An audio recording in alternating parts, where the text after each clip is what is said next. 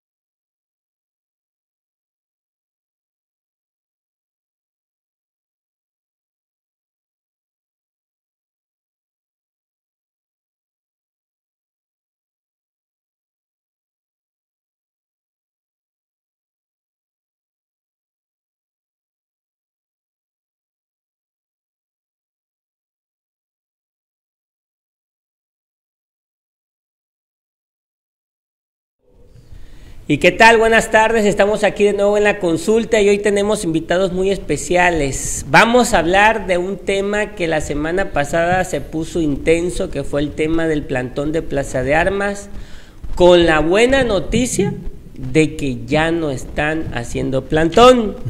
Pero antes de empezar este programa vamos a saludar a nuestros patrocinadores, le damos gracias a Ferretería Vaqueiros, al Café La Cabaña, a MM Inmobiliaria, por supuesto a la Galería Ari que se encuentra aquí en 27 de febrero, esquina con 5 de mayo, una galería muy bonita que recibe en este lugar a Won TV y por supuesto a la consulta.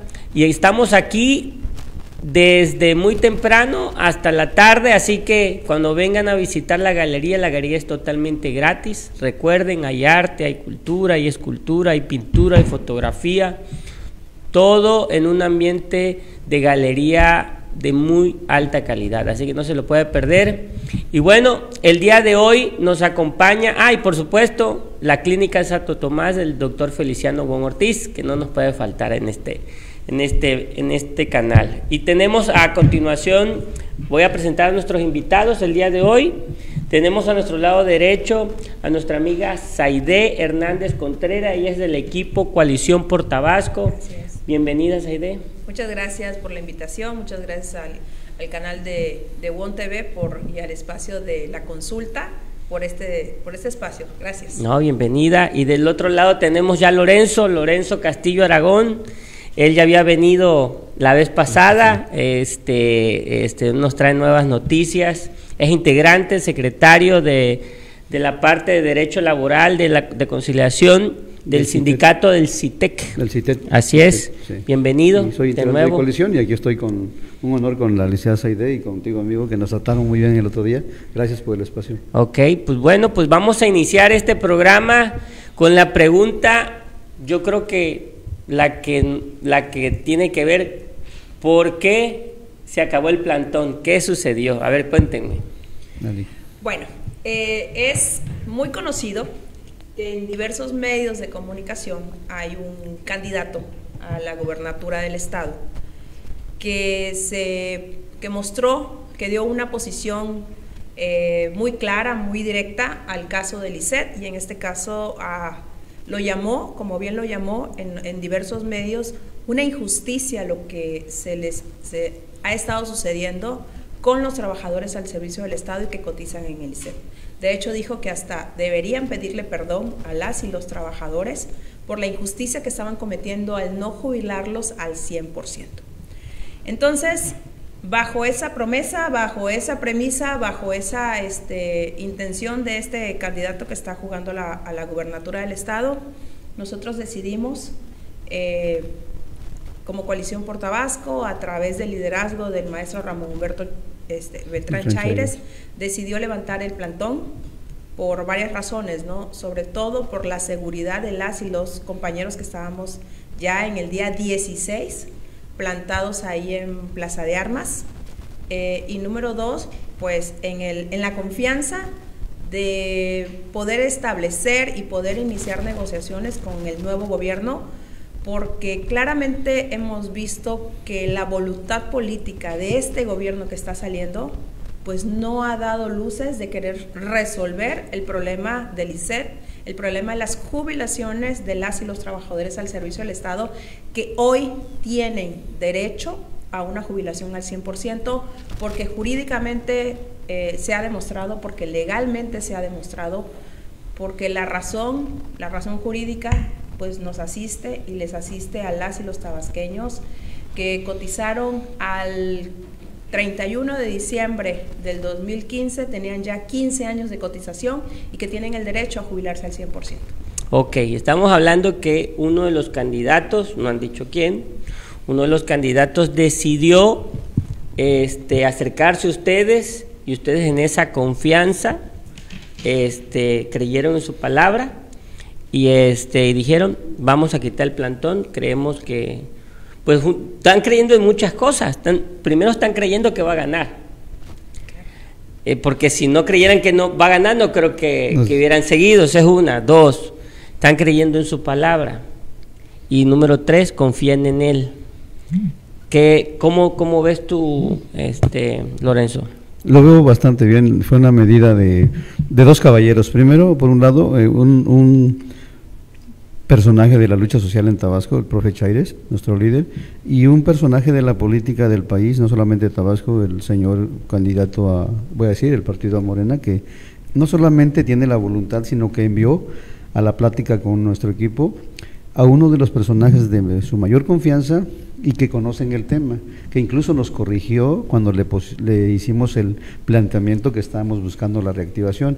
Y como el señor, este personaje conoce de la materia, dijo, permítanme, yo no necesito más, más argumentos, conozco el tema y no se llama reactivación. Ustedes deben mover la activación porque es ley, porque está vigente y porque nosotros como gobierno entrante nos comprometemos. Entonces, de ahí es Emanuel Enlace, que ya comentó la LIXAID. Entonces, por dos factores, confiamos en, en, este, en esta negociación ¿no? de caballeros que permean el equipo de coalición, se lo comentamos a los de la, del plantón y ellos también lo multiplican la información a sus bases y todos llegamos a una, a una comunión de llevar a cabo la, el levantamiento del plantón, porque como bien dice, solamente Dios dispone las cosas, tendría que pasar algo extraordinario que no lo deseamos para que este señor eh, no ganara, pero sabemos de su gobierno cuando gobernó dos municipios y del trabajo que ha hecho a nivel federal eh, como colaborador principal del señor López Obrador. Entonces sabemos que es gente de lucha y de la verdadera izquierda, entonces estamos confiados, lo vemos como, como un paso y a la vez como un fracaso de los actores que no nos quisieron atender, porque se hicieron de la vista gorda, pero el pueblo no perdona. Y creo que en, próximos meses van a ver el error de no haber inclinado su oído a la demanda de coalición por Tabasco. Me refiero a los de este, actual gobierno. Bueno, entonces estamos hablando que tuvieron acercamiento con el candidato de Morena a la gobernatura. Entonces estamos hablando del licenciado Javier May Rodríguez. Así es. Este, al que ustedes confiaron en su palabra este, y el día de, y a partir de ese día comunicaron a todo su gremio y a todos sus simpatizantes de este gran movimiento de coalición por Tabasco, nos promete el licenciado May que vamos a resolver este problema cuando él llegue. Sí, exactamente.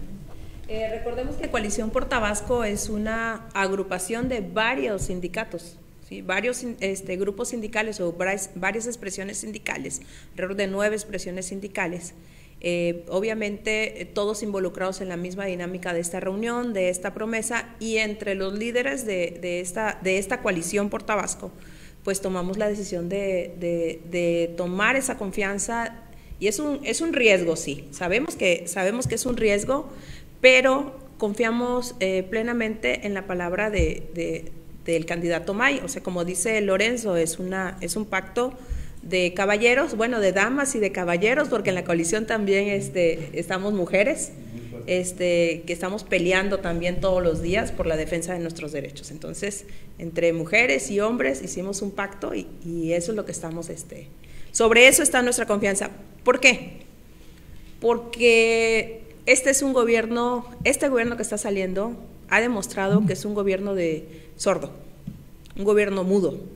Eh, y entonces era desgastar a la gente en un acto ya era, ya era, ya lo veíamos como, como que habíamos hecho todo lo posible. O sea, el, sábado fue la marcha, una, una mega marcha, juntamos más de mil personas en la mega marcha, más de mil voces gritándole al gobierno, míranos, atiende nuestro, este, nuestro, nuestro llamado, atiende nuestro, nuestra, este, nuestra lucha, atiende nuestros reclamos.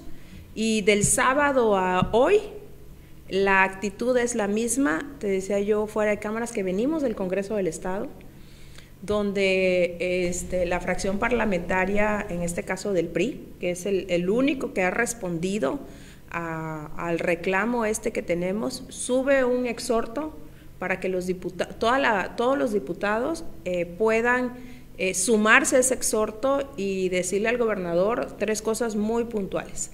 El cuarto transitorio es perfectamente válido, eh, que urge la, activación y, este, y la iniciativa ciudadana que nosotros tenemos también ahí.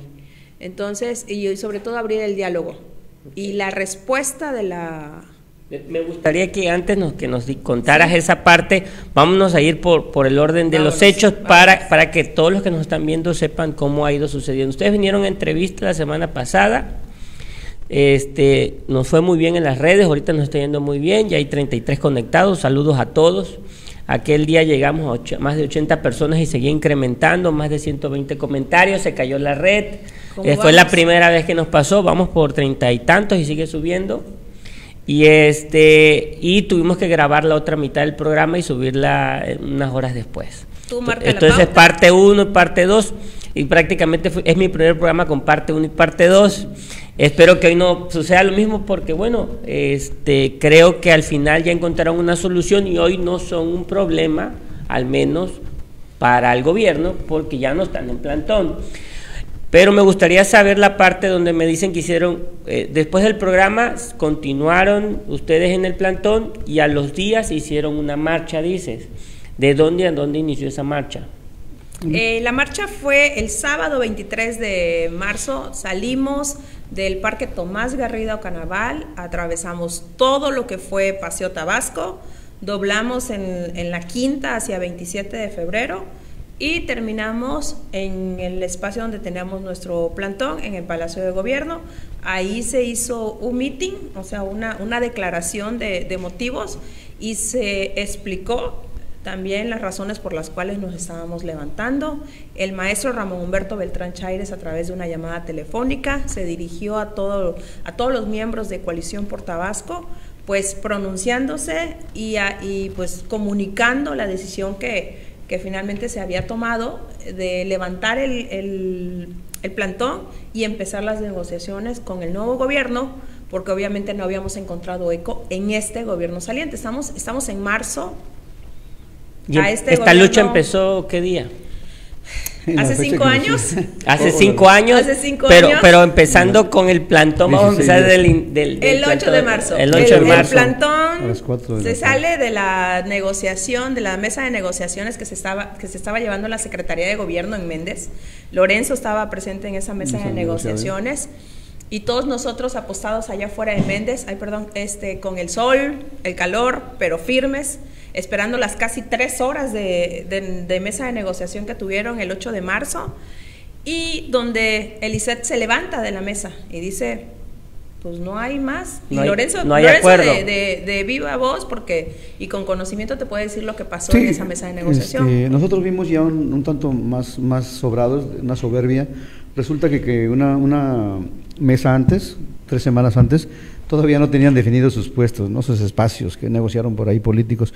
Claro que nosotros cuando llegamos a la mesa ya vimos una cerrazón, ya este, empoderados ¿no? políticamente, no saben que apenas van a pasar su filtro por las urnas, y nos trataron con la punta del pie. Alcanzamos a hacer una minuta que yo rescaté, yo, yo rescaté esa minuta que firmó Lisset, donde nos daban una ganga, pues prácticamente nada, y conociendo el liderazgo del profe Chaires y de los compañeros que estamos en una sola armonía, decidimos levantarnos porque pues ya no nos iban a dar nada.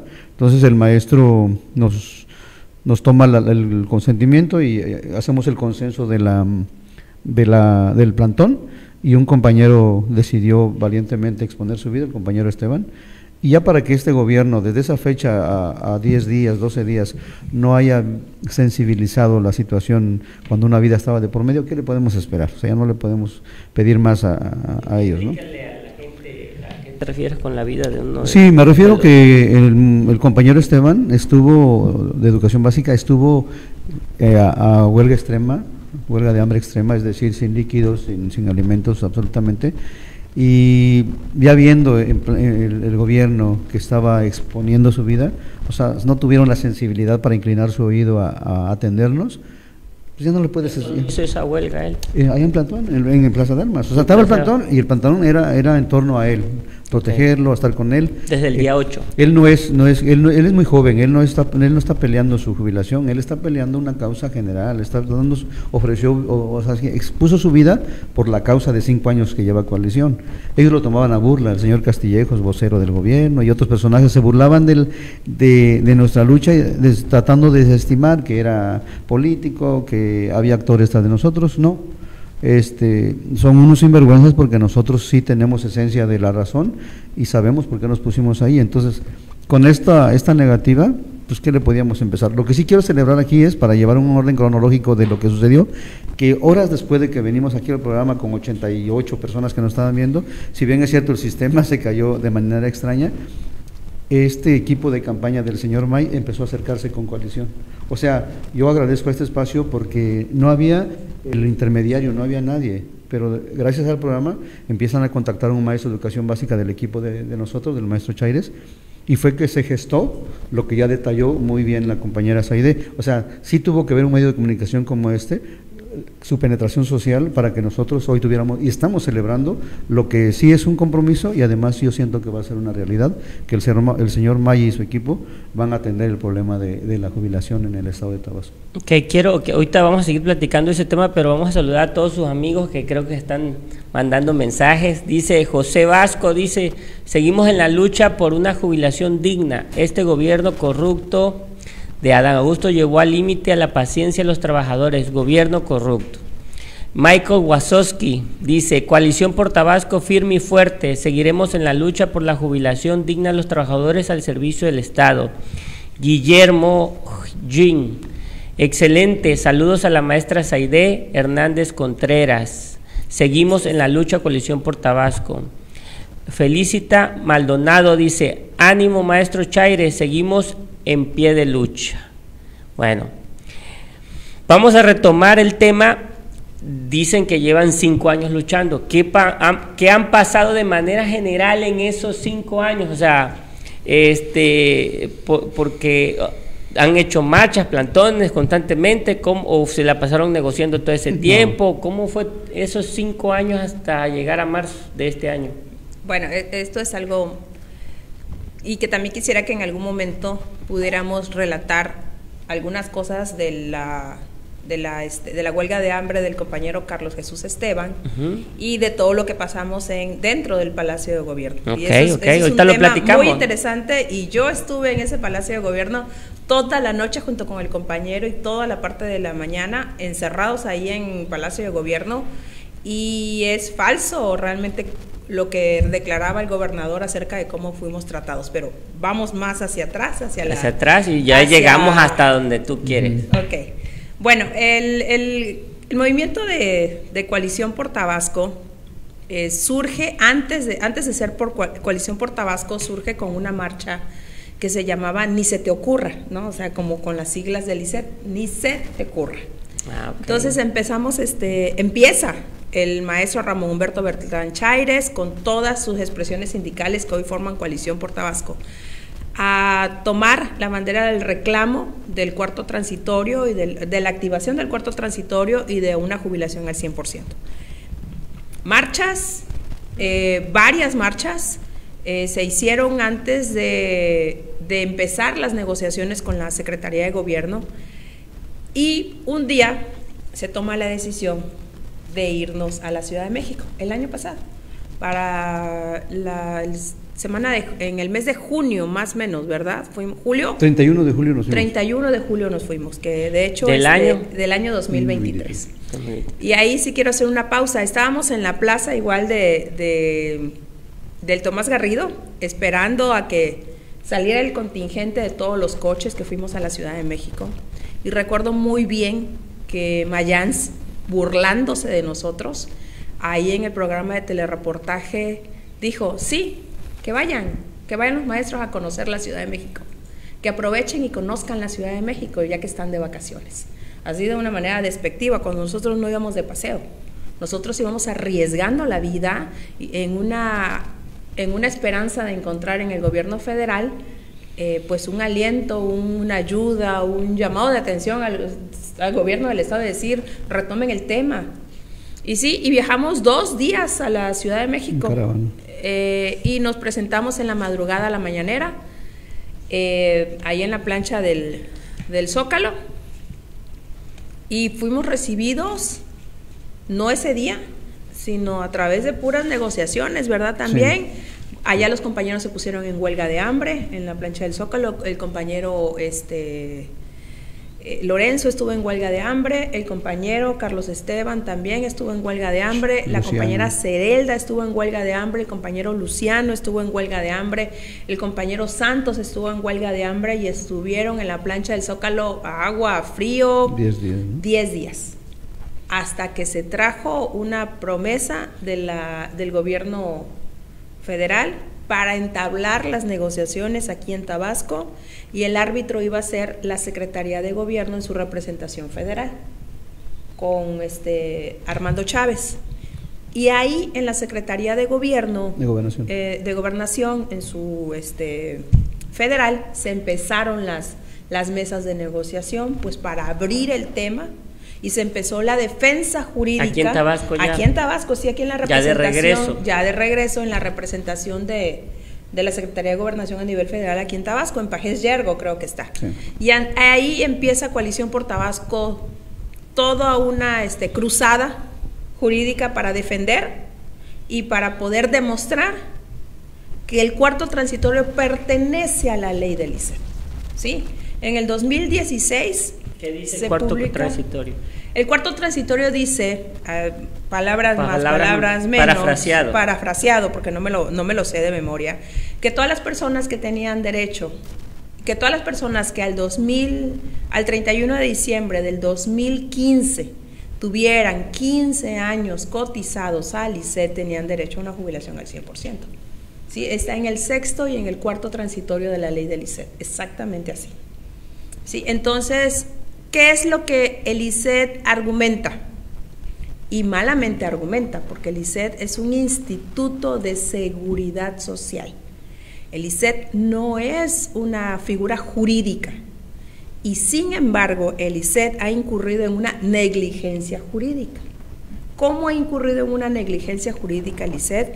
Pues abusando de su poder, que son los que distribuyen las pensiones, ¿sí? abusando de su poder y desactivando o dejando sin efecto a las personas para jubilarlas al 100%, cuando del 2016 al 2019 jubilaron bajo el argumento del cuarto transitorio a más de 3.000 personas. Entonces, es, decir, reforzando un poco a lo que bien explica pero, pero, pero las jubilaron con los derechos al 100%, al 100% con el cuarto transitorio. Es decir, que, eh, que, bien lo que dice esa idea es, es, es, indignante, ya que ellos no escatimaron para respetar la ley, como, como la estamos reclamando. Eh, casi un año tuvieron jubilando al 100% a trabajadores. Pero ya me imagino que Todo el 2023. Todo del 2016 al 2019. Son tres años. Tres años. Es decir, ellos hubiesen cometido menos errores si llegando a su gobierno, al primer día de su gobierno, hubiesen, hubiesen hecho esta, esta violación al cuarto transitorio. No, ellos sí lo aplicaron como debe ser al 100% durante meses porque políticamente quizás le generaba raja política, válgase la redundancia. Pero ya viendo que a lo mejor entraban en una cetosis financiera, ellos, bajo un argumento jurídico que emana de, del exsecretario de gobierno, el señor este, de Rivero, eh, ese argumento burdo lo usaron para, para, como parapeto para ya no pagarle al 100% a nuestros compañeros que ya tenían el binomio de, que dice la ley en su cuarto transitorio, en el apartado y en el apartado B. Es, en el apartado es muy claro, pues, que las mujeres, que estamos reclamando esto, que las mujeres con 30 años de servicio y con este 25 años, perdón, con 25 años de servicio y los hombres con 30, con una edad mínima, no como ahora que nos piden 56 los varones y 51 los las mujeres, este eh, eh, las, se jubilaban bien, pues. Entonces ellos bajo un argumento de supuestamente una opinión jurídica que yo la puedo emitir, la puede emitir cualquiera, este, ese teatro se les cae gracias a un producto que emanó de los enviados que tenía México en, las pláticas. Es decir, nosotros levantamos la huelga en la Ciudad de México hasta que el gobierno federal se comprometió a siempre en cada plática, en cada mesa de trabajo acá en Pajes Yergo, en la representación de la Secretaría de Gobernación eh, en el Estado, iba a haber un, personaje de, la Secretaría de Gobierno México, de Gobernación, perdón, y así, y así estuvo, estuvo emanando los trabajos.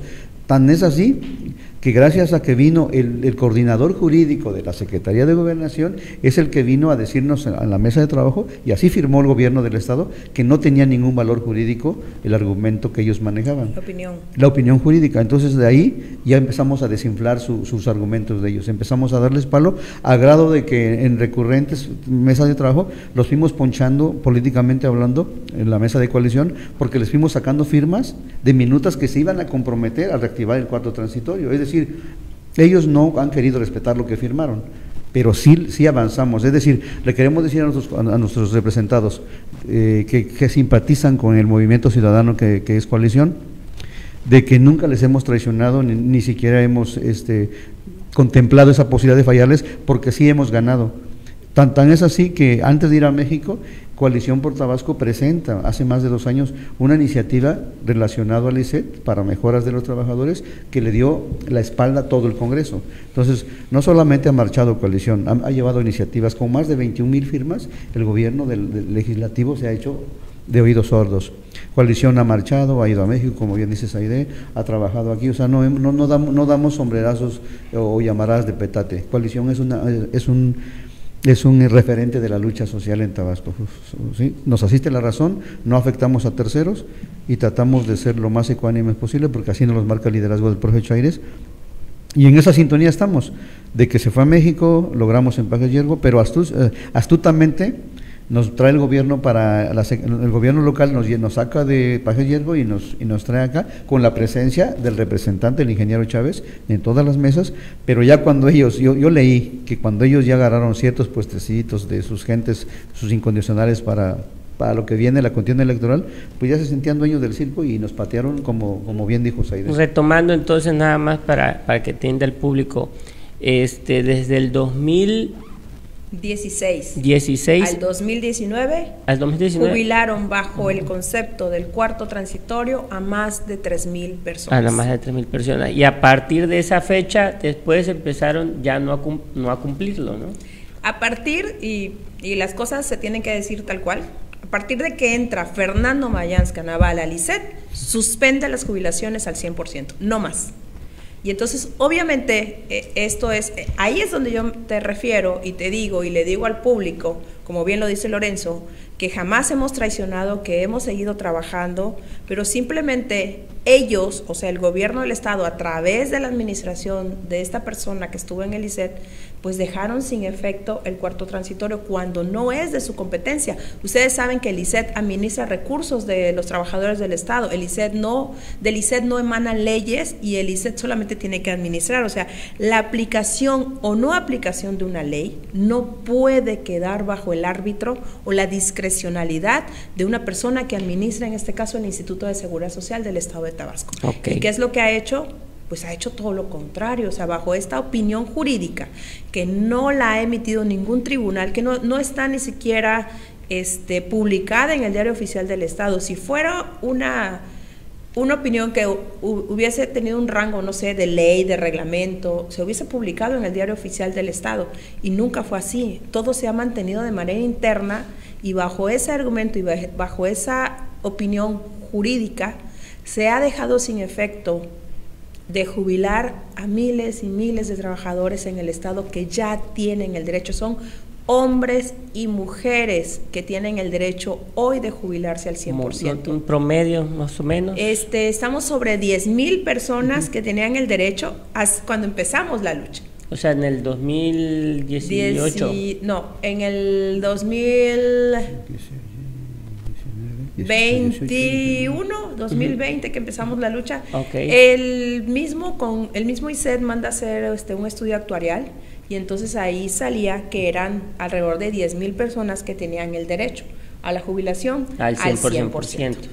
Eh, pero hoy con este hay unas sentencias ya en firmes y en proceso de ejecución que amplían este panorama. Se llaman tocas, ¿no? Por sus siglas. Este, no soy abogada, este, pero son sentencias firmes en proceso de ejecución, ya hay dos, en donde se le insta y se le dice al ICET, las tienes que jubilar al 100%. No hay vuelta atrás. No hay vuelta atrás. Lo emite el tribunal. Sí. y esto abre el panorama a miles de personas más. Entonces el problema lo inician con 10 mil personas y hoy estamos hablando de 20, 30 mil personas con este derecho con base en lo que dicen esas tocas, esas sentencias firmes que están en proceso de ejecución. De apenas dos, tres meses antes de que cerrara el ciclo, el, año lectivo 2023. Eso fue un elemento que ya no pudieron este, contradecir o, echarnos abajo en la mesa. Nuestro equipo jurídico, que está muy profesional, se los puso, y ya no hubo palabra de ellos, no, no tuvieron cómo responder que el tribunal correspondiente emite esas sentencias firmes, ¿de dónde, de, ¿para dónde huir? Si ya lo dice la máxima autoridad que tienen que ejecutar eh, tal situación, entonces ya no había para dónde. o sea, desde el 2020 vienen haciendo reuniones desde México después todas en Tabasco y aquí fueron... No, en México la fue Ciudad de el México fue 2023. 23, 2023. Son 2023. 14 mesas de negociación en total de septiembre, septiembre, octubre, noviembre, diciembre, ¿De enero, qué año? febrero del año pasado. El año pasado. Sí, son 14 mesas de negociación y cada mesa de negociación que estaba este, las personas de los líderes de coalición en Taba- de por Tabasco adentro de la mesa de negociación, afuera habían trabajadores este, apostados afuera del- de, la secretaría acompañando, eh, ac- estábamos acompañándolos Sí, en cada mesa de negociación. Ok. Y entonces el líder salía y emitía la minuta que había ganado y, y el camino de verdad de- parecía que estaba, este, Estaba muy claro. Que estaba muy claro. ¿Quiénes se levantan? Y es, y es muy claro que hay que decirlo. ¿Quiénes se levantan en la mesa de negociación? El ICET. El ICET y el gobierno del Estado. Sí, Nos el ICET y el gobierno del Estado se levantan de la mesa de negociación y suspenden el, el diálogo y es por eso que nos vamos al Palacio de Gobierno el 8 de marzo a levantar el plantón y la huelga de hambre del compañero Carlos Jesús Esteban. Ok. Ahorita vamos a entrar al caso de Carlos Jesús Esteban. Siguen escribiendo aquí los amigos en las redes. Dice Donaciano Ken, seguimos firmes con la coalición por Tabasco. Saludos a los compañeros Aide y Lorenzo Castillo. Lili London dice, a ver si cuando llegue Maya a la presidencia no se haga oídos sordos, porque así son todos, prometen y prometen y luego hasta antimotines nos avienta. Daniel Martínez, Coa- Coalición por Tabasco, somos todos los trabajadores que cotizamos en el ICET. Lo que buscamos es una jubilación digna y el gobierno corrupto no nos quiere hacer caso. No es solo el, el maestro Chaire, somos todo el pueblo de Tabasco. Como servidores públicos, los diputados no han hecho nada para la reactivación del cuarto transitorio. Leo Hernández, ni un voto para Yolanda Osuna, firmes compañeros. Bueno, llegamos al punto donde su compañero hace la huelga de hambre, un joven. Sí. Eh, ¿Qué vivió ese joven? A ver, cuénteme. Bueno, Carlos Esteban se declara en huelga de hambre extrema el 8 de marzo alrededor de las 2 de la tarde. Y Como a las 5. como el... ¿Sí? 5 porque saliendo de allá como a las 4 y media, 5. Cuando se desesperó yo que no hubo respuesta. Sí, bueno, vamos a suponer, vamos a declarar 5 de la tarde oficialmente a la huelga de hambre de Carlos. Carlos Jesús Esteban, eh, líder del ESNACET, líder sindical del ESNACET. Y él decide hacerlo de manera extrema, es decir, sin líquidos y sin alimentos. Y al mismo tiempo que él se declara en huelga de hambre, pues se levanta el plantón Sí, en planta- Plaza de Armas. Y pues todos nos organizamos y pues empezar a aguantar, ¿no? El, el plantón, empezar a aguantar el sol, el tiempo, hicimos guardias eh, y algo que es bien importante que yo diga aquí, porque es de reconocerse. Ese plantón y este movimiento de coalición por Tabasco está financiado económicamente por las y los trabajadores al servicio del Estado que, están, que somos miembros de coalición. ¿sí? De nuestro bolsillo estamos sacando el dinero para defender nuestros derechos. O sea, no hay ningún político detrás No, financiando el nadie, movimiento. no, todos somos de y de verdad De que es, admira- es de cooperacha, es admirable cómo llegaban porque tenemos en Coalición por Tabasco tenemos docentes de educación media superior, docentes de educación superior, de básica, aquí representados por el maestro Lorenzo y el maestro Gustavo, Gustavo. tenemos enfermeras, enfermeros, tenemos personal del ayuntamiento, Policías. policías, y todos aportan a esta causa lo que pueden y obviamente eh, y es Más, o sea, más o menos el monto mínimo. no no no no no hay un monto mínimo o sea si tú quieres dar 20 pesos o llevar dos bolillos al, al Un puerco. un, Puerco. un puerco, puerco. Hicimos la- llevar, hicimos hicimos, la la vaquita vaquita para comprar el puerco. Este, hicimos la vaquita para comprar el puerco. El Hay gente puerco. que llevaba tamales, que si ya lleve pozol, que si ya lleve dulce, que si ya te doy 200 pesos, 300 pesos. Y es el salario y el bolsillo de todas y todos los que integramos coalición. Nadie nos financia, pero como este somos más de 13 mil agremiados que tiene Coalición por Tabasco, ¿sí? Entonces, realmente. Eh, son 13 mil y, cuántos y cuántas. Quizás no veas a los 13 mil en las ¿cuántos marchas. sindicatos son? Son nueve sindicatos, alrededor de nueve sindicatos. Que son todos del gobierno del Estado. Son todos del gobierno del Estado. que No falta ni ninguno. No, no, no. Eh, somos sindicatos independientes y de los sindicatos grandes y eso y esa y esa esa narrativa creo que le corresponde a Lorenzo. Lorenzo tiene muy bien este, clara esa narrativa acerca de qué sindicatos sí y qué sindicatos no están en coalición. Si, tuviera el CENTE, el CITEM y el CITET, el gobierno local nos hubiese hecho los mandados, pero desafortunadamente, amigo y público que nos escucha y nos sigue, los, los, los sindicatos desde el 2012 de educación básica han perdido credibilidad, han vendido sus causas, han sido serviles del gobierno y lejos de ayudar a coalición son nuestros detractores. Ellos hacen campaña negra, ellos dicen que está politizado esto. Me refiero a la Secretaría General del CITE, del CITEM, del CENTE. Es triste lo que vive el sindicalismo en básica, pero es una realidad. Son, son serviles del, gobierno y, son los que nos piden. O sea, están todos excepto los dos más grandes. No, pues el CITEM nada más está representado por, por mi persona que represento secundarias estatales. De ahí todo el comité, lo debo decir este, está vendido con el gobierno. O sea, aquí era la consigna cuando se hizo la planilla del maestro Ricardo, que la encabezaba mi hermano y dejó todo el proyecto armado, ya falleció por el COVID, eh, se condicionó que coalición, que se, se sumara al secretario general, que iba a ser mi hermano, en este caso no fue, pero que se sumara con el maestro Chaires. Era porque representa una lucha digna, porque es un referente de la lucha en Tabasco, y no cumplió el, actual secretario del CITET, por el contrario, a los 15 días de haber ganado el CITET, no solamente le da a la espalda a coalición, sino que vende el proyecto del CITET al gobierno en turno. O sea, lo entrega políticamente, ¿no? En este caso el gobierno, gobierno de Núñez. De no este señor Merino, no, no, no, no este señor Merino. este gobierno. Yo nomás decía que en el 2012 empezó la decadencia del sindicalismo porque no sé si recordarán ustedes, hubo un fenómeno de una reforma educativa del señor Peña Nieto, Peña Nieto como presidente de la República.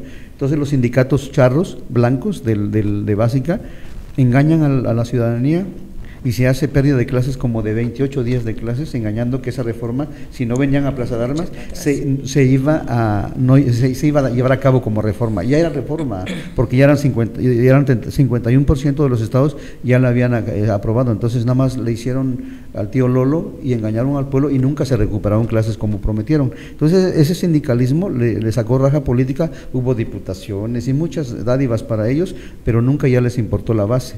Entonces, ahora que estamos en el 2024, pues los tres sindicatos ya están declaradamente al lado del gobierno y no apoyan la coalición. ¿Cuáles son los tres sindicatos? CENTE, sección 29 del CENTE, el CITEM, CITEM y el CITET donde yo pertenezco. Digo, y, y me da orgullo decir que soy la parte democrática porque conozco la lucha del profe. Esos son los tres que no están. Que no están, y algunos, y, los del gobierno como de, salud y otros, esos ya es históricamente no, no están ni van a estar en la lucha, ¿no? Porque pues ellos saben por qué, pero en básica que nosotros, como dijo Saide, el maestro Gustavo y yo representamos, pues es triste, ¿no? Que no que no se haya dado eh, eco a la lucha de coalición, porque no sé, quizás. Pero, pero los resultados que ustedes obtengan van a beneficiar a ah, todos. Sí, general, general. Eh, pero eh, van a beneficiar a los 80 mil trabajadores. A los mismos, a los mismos líderes sindicales. ellos los, los de los otros sindicatos, los, los miembros de los otros sindicatos, siempre nos echan porras, ¿no? Pero no te puedo acompañar al movimiento porque entonces mi líder, pues este, me va, me va a llamar la atención, ¿no? Por ejemplo, de educación media superior, en este caso, yo soy docente de Colegio de Bachilleres de Tabasco. Eh, y el maestro Ramón Humberto Beltrán Chaires, aparte de ser secretario de Coalición por Tabasco, es también secretario del Sindicato Independiente Democrático de Trabajadores de Colegio de Bachilleres de Tabasco, o sea, lo que es el CIT-CBT. Pero Colegio de Bachilleres de Tabasco tiene eh, tres sindicatos más. Tiene este el que presume ser el sindicato mayoritario, pero ya no lo, es, porque desde hace mucho el sindicato independiente es ya el sindicato mayoritario, simplemente que el tribunal eh, no nos ha validado las, las nuevas altas, que de hecho el, hace el, el, mismo 8 de marzo, eso fue maratónico. El CIT-CBT a las 8 de la mañana, 9 de la mañana estaba en el tribunal, reclamando las altas, la validación de las, de las actas. A las 12 del día estábamos apostados en este afuera de la Secretaría de Gobierno y a las 4 de la tarde, 5 de la tarde estábamos levantando el, el plantón. Realmente ese día fue, bueno, los 16 días que hemos venido han sido agotadores, realmente.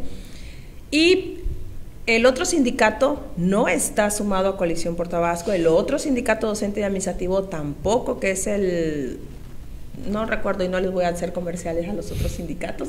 Entonces los otros tres sindicatos más no están con coalición por Tabasco cuando tienen agremiados con derechos ya para jubilarse al 100%. ¿Y qué es lo que nos dicen? No, pues les echamos porras, que les vaya muy bien y ojalá lo logren porque también nosotros vamos a salir beneficiados, pero pues no se atreven a levantarse y luchar.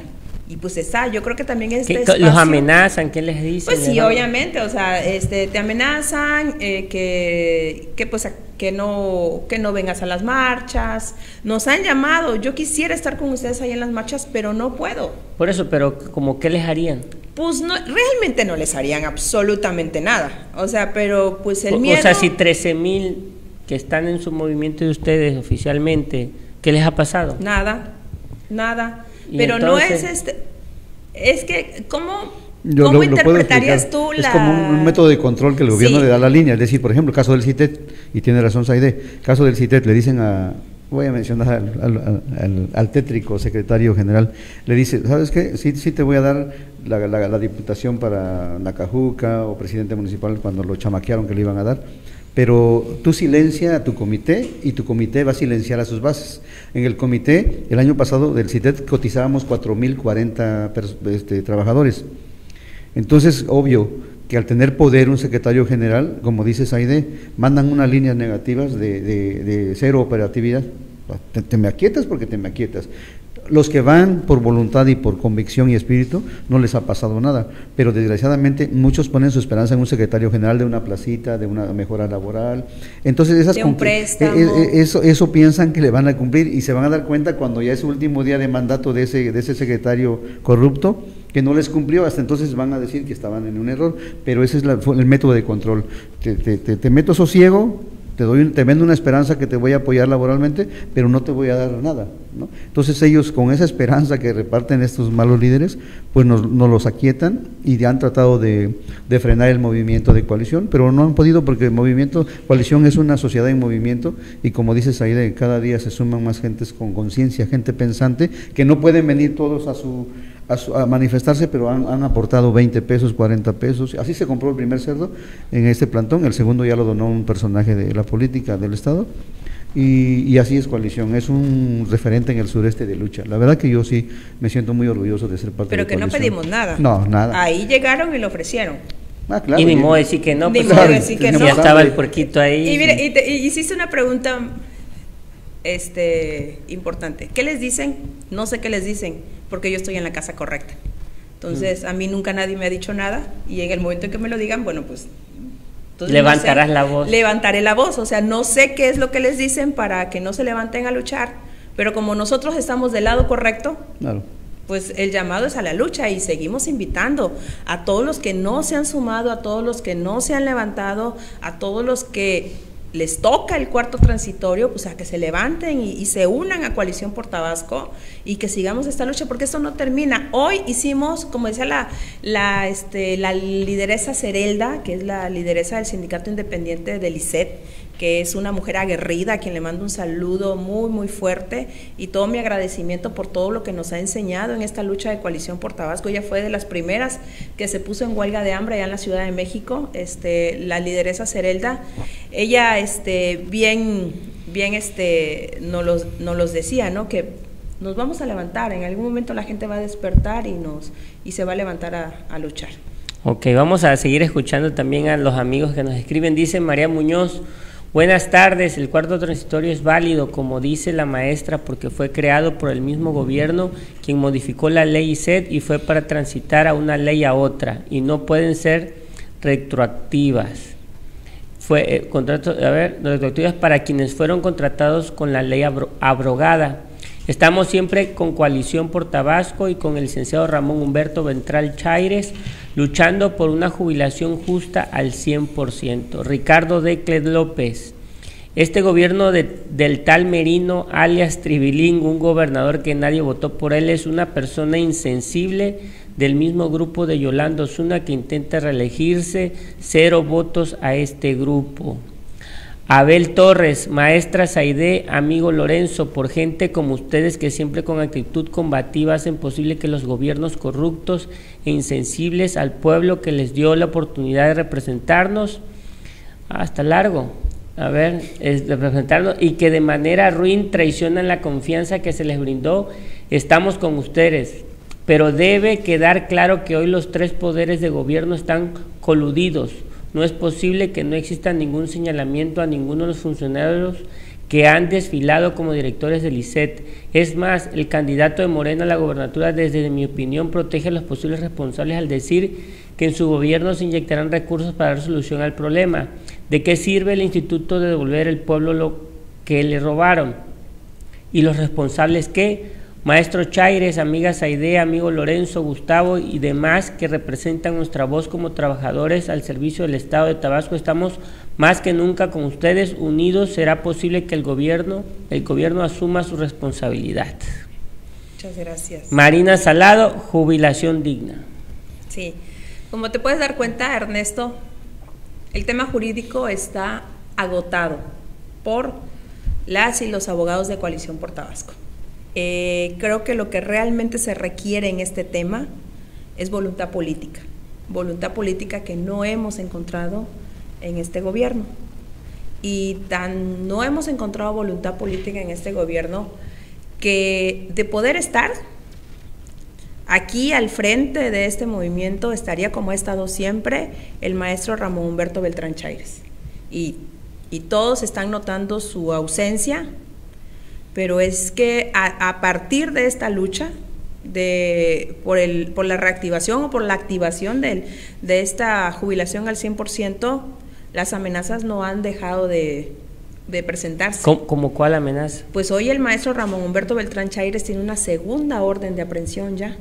¿Y quién, lo, ¿quién, lo, quién le hizo esa segunda orden? Fíjate que, que alguien nos los informe, porque para que él tuviera conocimiento de esa carpeta de, investigación batalló, batallaron los abogados y no, no, no encontraba de qué estaba acusado.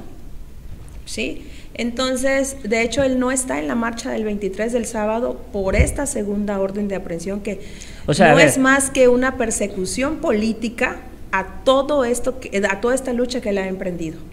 Pero bueno, tiene entonces tiene una primera, la primera que dice. Pues la primera eh, realmente eh, no hay, no te podría decir lo que dice la primera, tendría que él estar aquí, llamar, que llame a alguno de sus abogados para que te lo explique. Eh, y se ampara ante esa primera orden de aprehensión y él solamente estuvo presente uno o dos días. Él iba a estar en la marcha, ya no pudo estar en la marcha por una segunda orden de aprehensión. De hecho... O sea, la primera la libró, puedo decir. Sí, tenía un amparo y muy seguramente también va a librar esta. Seguramente sus abogados están... O sea que ahorita que es este, un prófugo. No, no, no, no, no es un prófugo porque no, este, porque tiene un amparo. Ah, okay. Pero obviamente, este, si se pues, sus abogados, sus abogados le están recomendando que tiene que, pues, estar, este, en resguardo. Y aparte, aparte su condición de salud es muy este, delicada en estos momentos por todo lo que pasamos dentro de Palacio Nacional, esa, digo, de Palacio de Gobierno, todo lo que, lo que te quiero narrar esa noche. Carlos Esteban, Carlos Jesús Esteban, por el calor tan fuerte que hay aquí en Tabasco en estas fechas y por no consumir líquidos ni alimentos, empezó a presentar este, una condición de salud eh, complicada. Sí, empezó a temblar, empezó a este pues a sentirse mal, a una sudoración así fría.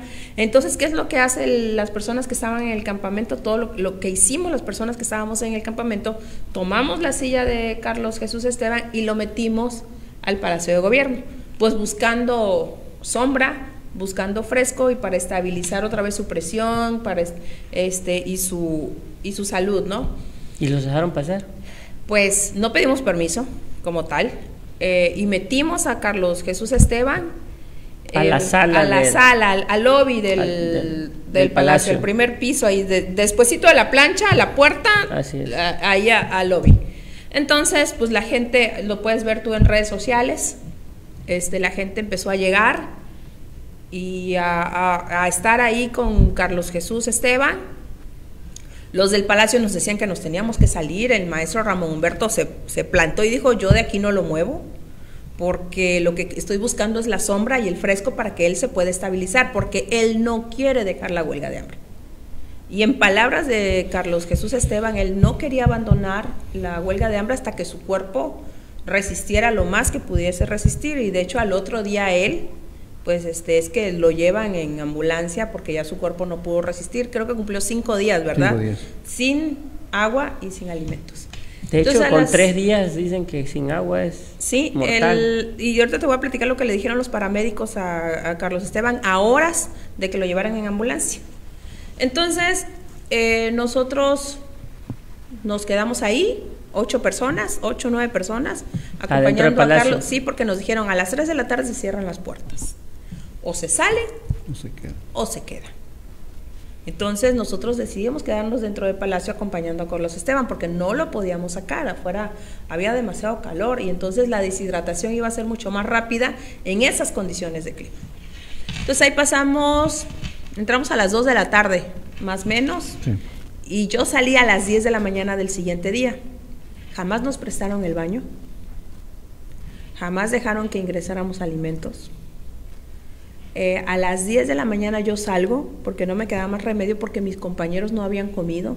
Cerelda es hipertensa, Cerelda es una persona de la tercera edad que necesitaba ingerir alimentos. Yo tengo diabetes y a la hora que me tomaron la glucosa, que llegaron los paramédicos alrededor de las 6 de la mañana, 7 de la mañana a revisar a Carlos Esteban, yo ya estaba en 85 en glucosa. Para mí, eso, una persona con diabetes, eso es este ya signo de, de hipoglucemia. Entonces, yo necesitaba ingerir alimentos. Eh, jamás nos prestaron el baño.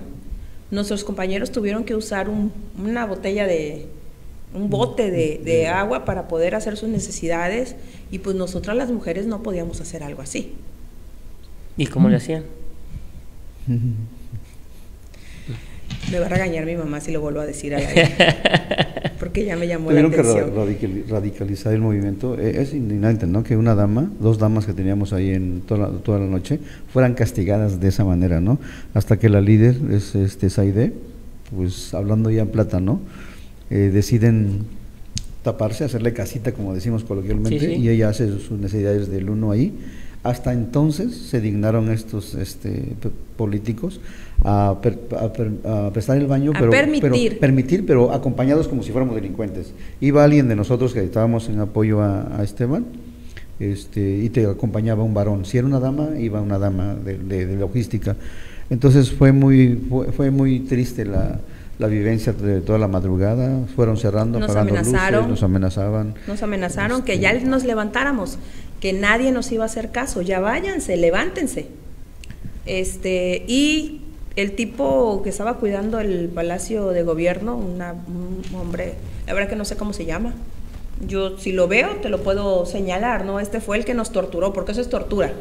De- no, dejarte, psicológica. no dejarte ir al baño en toda la madrugada, eso es tortura. Y lo que nos hicieron fue un secuestro. ¿Por qué? ¿Qué te decía? Pues vete, vete a tus baños, pero ya no puedes volver a entrar. ¿Y cómo íbamos a dejar al compañero? O sea, lo íbamos a dejar solo. Y Carlos me decía, no se vaya maestra, no me vaya a dejar solo, porque él, pues nos sentíamos amenazados. ¿Cuántas cosas no pasan en este país y nadie sabe dónde están? Entonces realmente teníamos que estar alertas de lo que estaba pasando.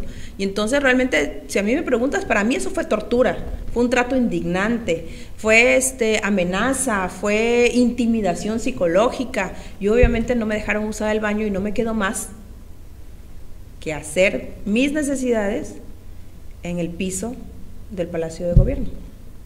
Y a partir de que yo hago eso es que dejan a mis O compañeros. sea, porque no querían que se ensuciara. Nuestra casa, ¿no? Nuestro La- la- recinto el del palacio, pueblo, ¿no? el recinto del pueblo. Y entonces, este, pues no me, te juro que no es algo que me encante contarlo. Por eso yo creo que lo que faltó ahí es que entonces lo hubieran hecho los hombres, más fácil. ¿Verdad? Pues sí, ya. Pero pues ya- las mujeres tuvimos que salir a, la- sacrificar. tuvimos que sacrificarnos en ese tema. Para- para ya ves, el para valor de las mujeres supera el valor de los hombres. Ya le va a contar a sus nietos que se Ya hizo le voy a contar a mis nietos, voy a hacer este, Gobierno, ¿no? Se hizo. voy a hacer, Eh. me decía este Cerelda, cuando seas gobernadora, entonces aquí pones una placa y dices, aquí Saide hizo de- esto, ¿no? Ah. Y la vienes y la inauguras. Pero este, no, no, no es nada, no es nada agradable tener que decir esto, porque obviamente eh, pues está de por medio mi dignidad, está de por medio mi, pues mi integridad, mi, mi imagen, o sea, yo soy una docente de 25 años y pues no es agradable decir algo así, pero fue a lo que nos orillaron ahí en Palacio. Entonces, cuando, cuando yo te digo a ti que es un gobierno sordo y mudo y sin voluntad política, es porque lo viví en carne propia. A mí nadie me lo va a venir a contar. Yo he estado 16 días en ese campamento y nadie se ha acercado del gobierno del Estado a decir, vamos a abrir nuevamente el diálogo. Y el gobernador salió y dijo, se les dio comida, se les dio agua, se les trató muy bien. Alguien lo malinformó. Yo no estoy diciendo que él miente, ¿no? Pero alguien sí lo malinf- malinformó porque él no estuvo ahí. Alguien le pasó mal los reportes e hicieron que él dijera una información totalmente imprecisa. Mis compañeros comieron a las 10 de la mañana porque yo tuve que salirme de- del palacio para que eh, pudieran dar permiso de ingresar la comida. Y cuando les dieron las, las viandas de comida de nosotros, ¿sí? porque te puedo decir hasta quién cocinó, fue la maestra Marta de Sánchez Magallanes, que le envió un saludo, que nos cocinó un escabeche de pollo con arroz y eso fue lo que le pasaron. Y cuando se lo pasaron a mis compañeros, les tomaron una foto como si fuera el servicio de Palacio quienes les estaban otorgando la comida. Y esa es la comida que presume o que le presumieron al gobernador que le entregaron a los compañeros de, que estaban adentro del palacio. Pero es una comida que salió del campamento y de la casa y de la economía de la maestra Marta de Colegio de Bachilleres de Sánchez Magallanes. Dice, dice Lili London, nosotros financiamos con nuestro bolsillo, así son las ganas que tenemos de luchar por nuestros derechos. Nosotros desde el Triunfo Balancán estuvimos presentes apoyando el plantón y llevando queso de poro y tostadas de pozol. Deliciosas. Órale. Camigar dice, todos los que todos los que quincena con quincena pagamos una cuota tenemos derecho a una jubilación digna y justa. Este gobierno que dice ser la cuarta transformación ha atentado contra todos los trabajadores del Estado. Leo Hernández, los vendidos son los líderes del CENTE, CITEC y CITEN pero los agremiados ya despertamos y estamos firmes en la lucha. Ellos no son absolutos. Gami Gar de nuevo dice, por una jubilación digna y justa, ánimo, la lucha sigue. Ruperto Zona Yocotán, Tamulté de las Sabanas. Y de nuevo Melina Gómez, jubilación digna. Sí, yo, yo más, este, quiero hacer un, este, un recuento de que Coalición hace su marcha de Ni se te ocurra. Coalición hace su iniciativa de ley con más de 21 firmas al Congreso. Coalición viajamos a México, Coalición hace mesa de trabajo acá y Coalición hace su plantón en estos días. Creo que hemos sembrado el presidente a nivel nacional.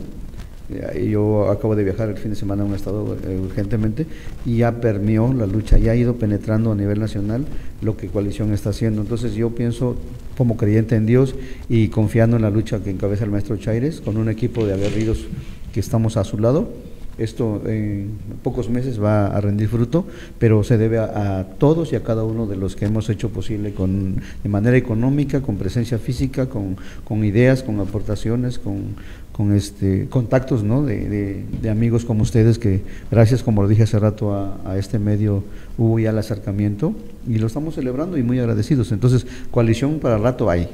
Y dijera nuestro líder corregidos y aumentados Excelente. Vamos a hacer una pausa para tomar aire y ahorita vamos a regresar con todo lo que pasó en el Congreso del Estado, este, cómo les fue, qué les pareció lo que dijeron los diputados. Y bueno, vamos a hacer una pausa y te regresamos aquí a la consulta.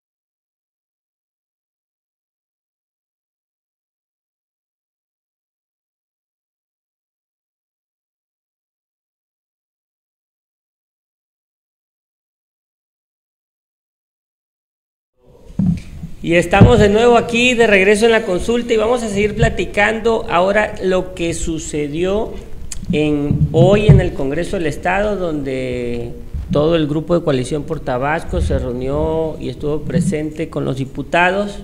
Y bueno, por ahí me comentas que hay un video. Sí, hoy en la mañana, a las 11 de la mañana, bueno, ya al 12 del día porque pasamos en la segunda, en, el, en la segunda sesión, eh, se subió un exhorto la fracción parlamentaria del PRI a través de la voz de la diputada Marixa Mayeli.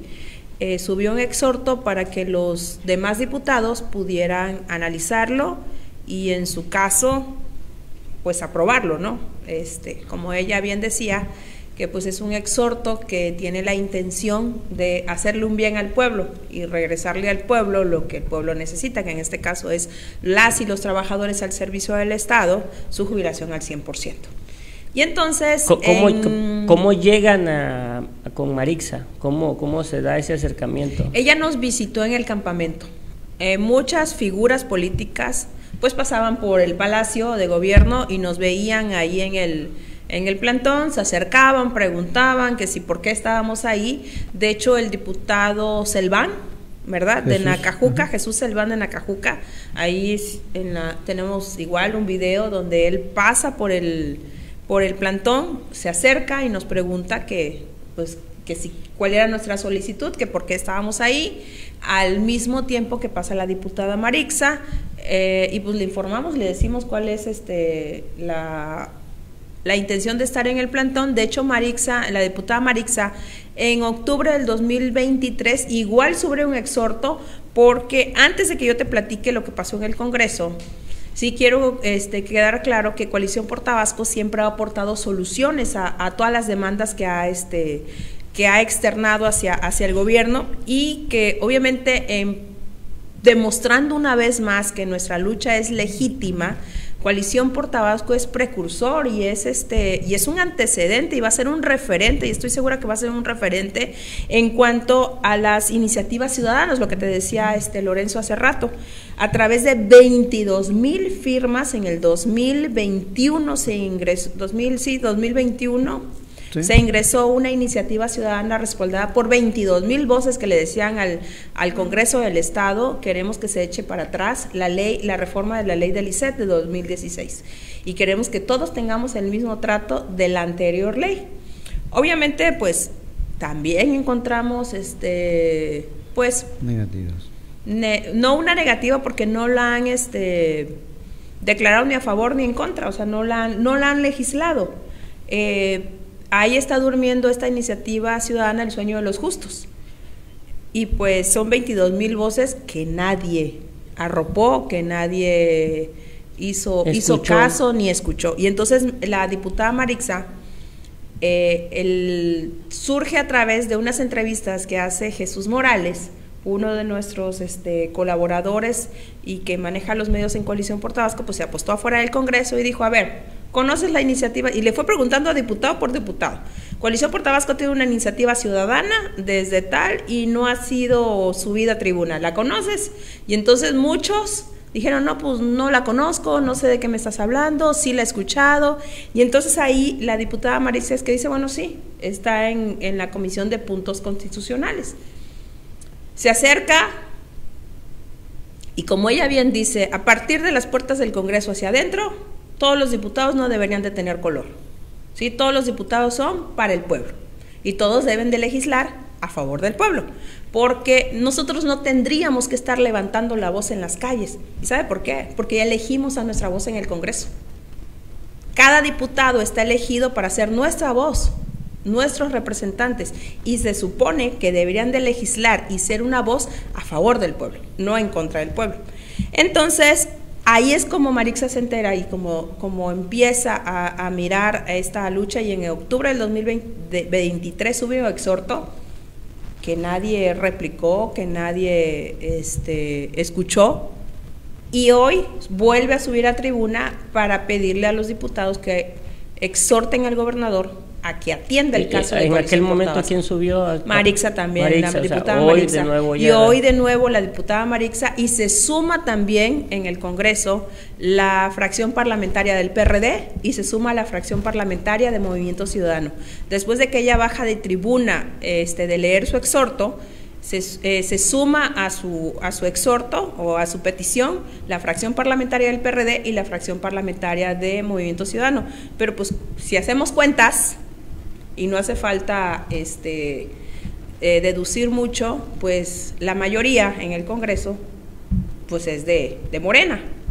Entonces, y a partir de eso, el diputado Sánchez Cabrales sube a tribuna a hacer como una réplica de la diputada Marixa y es el video que, que, se, que tomé. Bueno, tomé varios videos, tomé el video también de, de, la diputada Marixa haciendo el exhorto y tomé el video de, del diputado Sánchez Cabrales haciendo la réplica a esto y es lo que... ¿Qué, dijo Marixa para, para que veamos qué pasó cuando pasa el otro diputado? Pues Marixa hace un exhorto ah, y haciendo un llamado a los diputados a que exhorten al gobernador a que atienda el caso de coalición por Tabasco. Palabras más, palabras menos, a que se active el cuarto transitorio y a que la lucha de coalición es legítima y pues eso, o sea, que atienda el caso, o sea, exhortar al gobernador que atienda el caso de coalición por Tabasco. ¿Y qué contestan?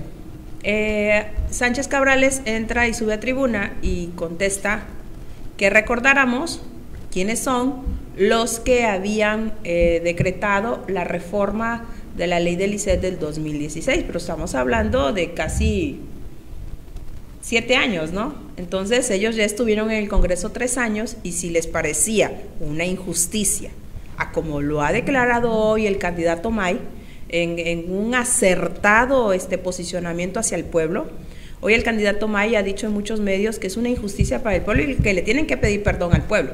Entonces Sánchez Cabrales decía y nombraba a todos los que habían promovido la ley del ICED en el 2016, pero pues él también estuvo involucrado. ¿No? Él votó en contra. Sí, él votó a favor, él debe haber votado a favor. Acuérdense que en el 2016 Morena no existía no tenía una fracción parlamentaria. La fracción parlamentaria dominante pues era la del PRD, era la de este... Bueno, si él no se nombra entre las listas es porque votó en contra, digo, esa es mi suposición. Pues Marixa le contesta que, que recuerde que también él estaba involucrado en este tema, que estuvo seis años en el ¿Y PRI. ¿Y eso se ve en el video? Eh, se ve en el video de Marixa, no de la diputada Marixa, no en el video de Sánchez Cabrales. se ve el posicionamiento de Sánchez Cabrales como como Morena, pues, en este caso. Ok, pues vamos, lo quieres. vamos, vamos a pasar el video, ya lo tienen listo por ahí. Vamos a ver qué sucedió hoy en el Congreso del Estado. Compañeros diputados, público que nos acompaña, personas que nos siguen a través de los medios de comunicación, desde luego también de los medios digitales. Hago uso de la voz para referirme a la proposición conjunto de acuerdo que se acaba de presentar en la que se hacen señalamientos en contra del gobierno del Estado, del ICET, de quienes conformamos parte de la fracción parlamentaria de Morena, queriendo atribuirnos una responsabilidad que no tenemos. Claro que sí.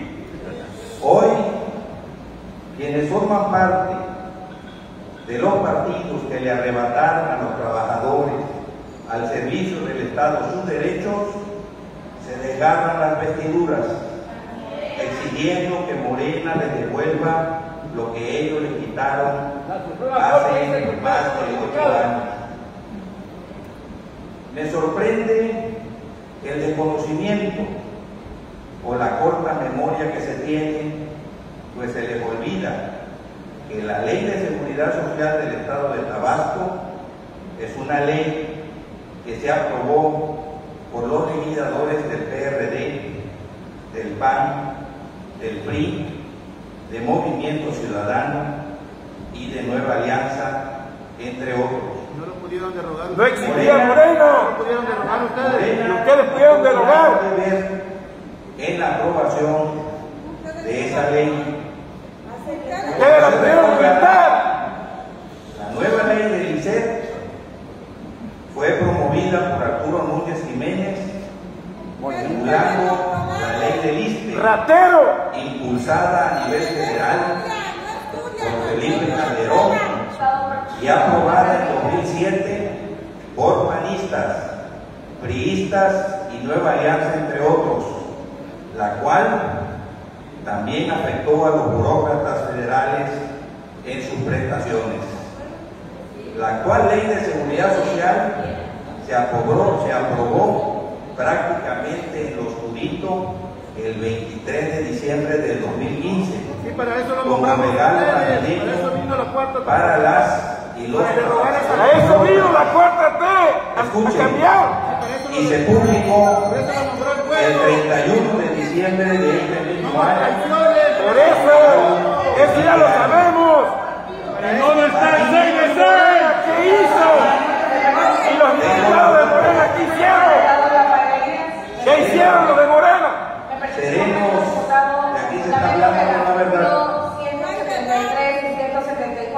pido al público asistente a esta sesión que deberá guardar silencio y compostura respetando a la institución del Congreso para que los diputados puedan externar el debate que se está viviendo. Somos el pueblo y tenemos derecho a hablar.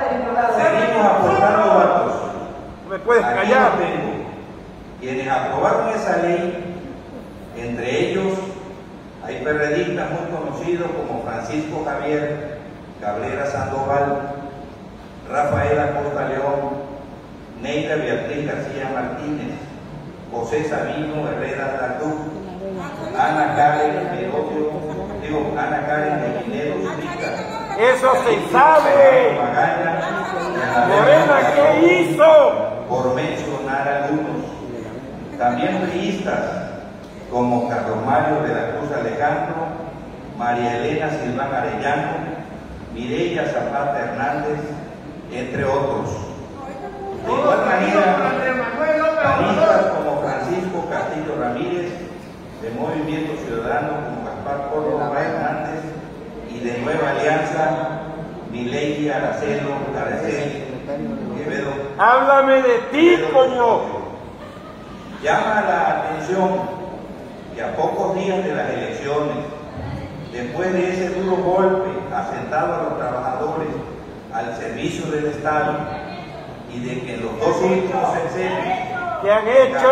por el PRI y el PRD dejaron quebradas las arcas, quienes ahora nos representan se quieren convertir Espero en mi casa. de las personas que ellos mismos afectaron y pretenden abanderar sus causas con evidentes tintes partidistas. Perdón, No es es cierto. lo que deberían pedir, como se dijo por ahí. Me pregunto, ¿por qué no lo hicieron antes? Quiero dejar claro. ¡Cinco años!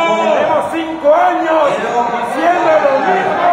Y ustedes son sordos. Ustedes son sordos. contra de los reclamos de los trabajadores. Cinco años y son sordos.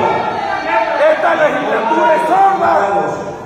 Al contrario, como se les ha dicho, se está buscando la mejor manera de Se solucionar. te acabó el tiempo. Cinco años no te dieron chance. Deben revisar los pros y los contras para que lo que se haga tenga viabilidad. Pues aunque se piense que el problema se puede solucionar una Te vamos a elegir tres años más. Tres años más para ti. No es así de sencillo. Si lo fuera, ya se hubiera hecho, o la Suprema Más que ya lo resuelve. la y los juicios de amparo que tienen pendientes desde hace muchos años. Hay muchos factores. que. Solo pedimos reactivación del puerto transitorio. Afortunadamente, el actual presidente de la República tiene muy presente esta situación, pues como se ha señalado, con las reformas que se hicieron a nivel federal y estatal sobre el tema que nos ocupa, se afectó a los trabajadores federales y locales.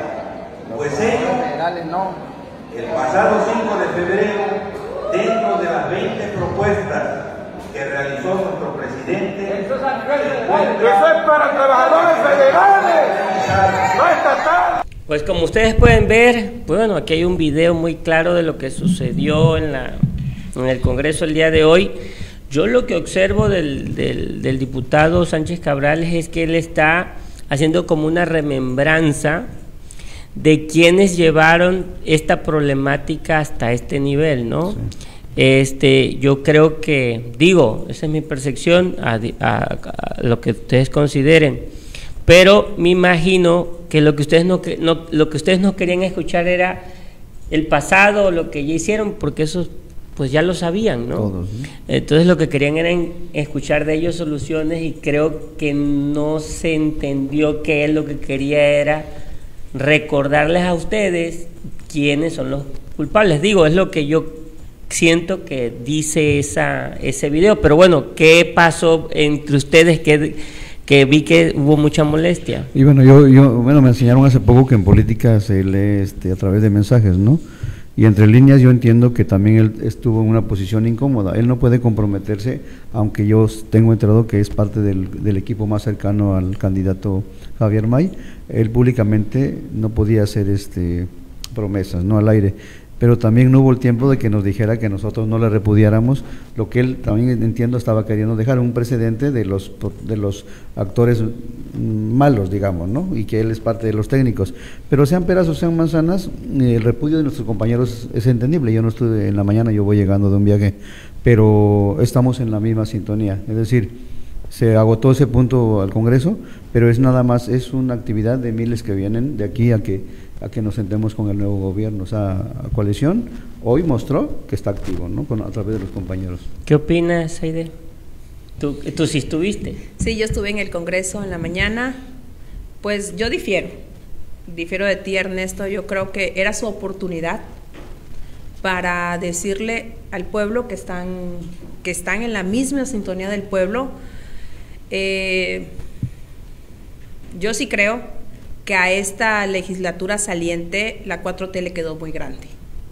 Yo soy fundadora de Morena, yo soy eh, seguidora de los ideales de Andrés Manuel López Obrador, pero de los ideales de Andrés Manuel López Obrador, no de esta simulada cuarta transformación que se dio aquí en el Estado, en esta legislatura que está saliendo. Eh, creo que sí les quedó muy grande, creo que no han entendido, ¿y sabes por qué no lo han entendido? Porque no son morenos de nacimiento, ¿sí? O sea, estos diputados vienen del PRI, vienen del PRD, vienen de otros partidos y realmente no nacen con la ideología de Andrés Manuel López Obrador y, y, Tabasco la 4T no ha terminado de llegar. Estamos en la esperanza de que llegue la 4T con Javier May, porque realmente esta no es una respuesta que estaría esperando el pueblo. Y tan no es una respuesta que estaría esperando el pueblo que la que el grito de los que estábamos ahí en el Congreso es muy evidente. Le dijeron, tuviste tres años para resarcir el daño que otros hicieron. Cinco dijeron. Bueno, cinco, pero bueno, estamos hablando de esta legislatura, ¿no? Son es. tres años. Y si te has dado cuenta, y si tú ya te diste cuenta y eres un político, este, con, si eres una persona con un oficio político, y sobre todo con un sentido social, un sentido de justicia social, pues obviamente legislas a favor del pueblo. Tan es así que tienen una iniciativa ciudadana de casi tres, que ya van a salir, ya se van, y nunca la legislaron. Entonces, ¿dónde está la voluntad hacia el pueblo, hacia las causas? ¿Dónde está primero los pobres?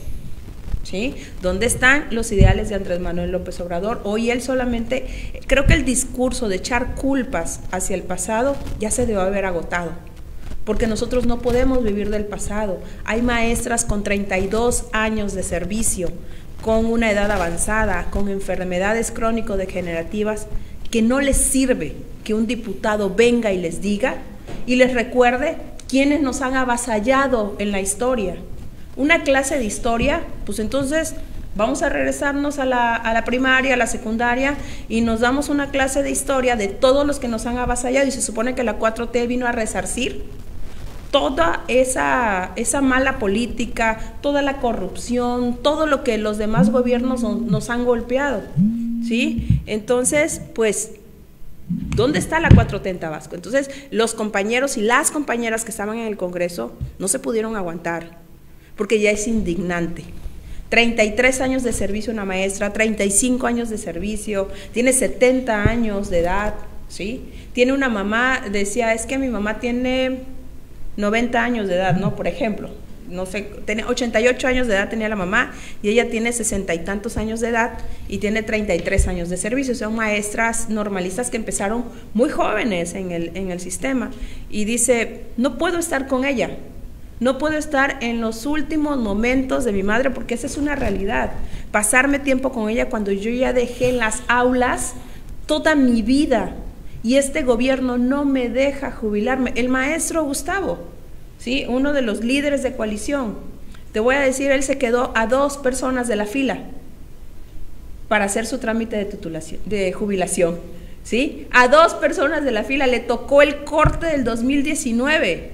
O sea, imagínate que estás llegando a que te atiendan y te cierran la ventanilla y a partir de, de hoy, a las 4 de la tarde, dejaron de jubilar al 100% y él se quedó así. Y entonces hoy está luchando con Coalición por Tabasco. Entonces, ¿tú crees que a Gustavo le sirve ese discurso de quiénes son los que... Los culpables. Los culpables no nos sirve. Bueno, ya ustedes ya lo saben. Porque todos lo sabemos. Las y los tabasqueños sabemos quiénes promovieron la ley, la reforma de la ley del A ver si se acuerdan, ¿quiénes fueron? Pues fue la bancada perredista en el gobierno de Arturo Núñez. Pero en el gobierno de Arturo Núñez y en parte del gobierno de este y en el gobierno de Granier se estuvieron jubil, no, en el gobierno de Arturo Núñez se estuvieron jubilando al 100%. Te, te, digo, del 2016 al 2019 se jubilaron con el cuarto transitorio más de 3 mil personas. Él propuso la reforma de la ley, porque fue del Ejecutivo, pero dejó los transitorios para el cuidado y el resguardo de las personas que ya tenían el derecho con la vieja ley. ¿Sí? No fue Arturo Núñez el que suspendió el cuarto transitorio, fue la administración de Fernando Mayans Canaval. Eso hay que dejarlo bien claro. Entonces, ¿quién le debe qué al pueblo? ¿Quién más, de, quién más se acuerda? Yo me acuerdo, de yo me acuerdo de que lo impulsó este el, actual secretario de gobierno. Es decir, ellos nos iban a escupir en la cara, pero por lo menos hubiesen escuchado nuestro planteamiento. Ni siquiera bajaron a, con la soberbia que les distingue a hablar con nosotros o a entablar una mesa de trabajo. Pero sí, ellos son de los principales protagonistas de esa mal, mala reforma. Y este y yo lo que leo en el video pues es de que la indignación, como dije hace rato, ¿no? Están en contra de las situaciones. Nuestros compañeros escuchando más de lo mismo, pero yo entiendo lo que el, diputado que hizo uso de la voz, Cabrales, quiso o intentó hacer pero pues también ya le demostraron los compañeros, y aquí lo decimos, que pues eso nada más es una actividad de tantas que vienen. Yo creo que para adelante, y pues es triste, ¿no? Que los legisladores que tendrían que ser nuestros gestores, nuestros... Eh, nuestros protectores de las leyes son los principales este, cínicos y, protectores del, del, gobierno actual.